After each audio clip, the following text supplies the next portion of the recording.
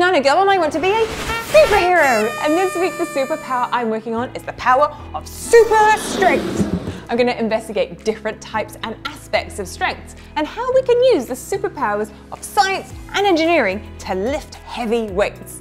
We'll be testing the compressive strength of different shapes to see how buildings are made and how they're engineered to hold up their roof.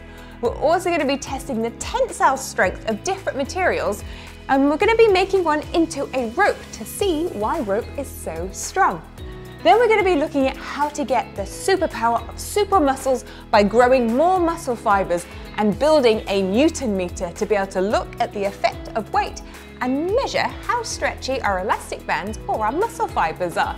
Then we'll be looking at the technology of making a material stronger through weaving it so it's strong in all directions. We're to create a loom and then we're going to weave our own superhero super material. And finally, we will investigate how to lift heavy weights by using the superpower of pulleys like this. Whee! If you want to work on your super strength powers, why not join me? Every day we'll experiment with a different superpower and I'll share my lab notes with you so that together we can all have the superpower of super strength. See you soon.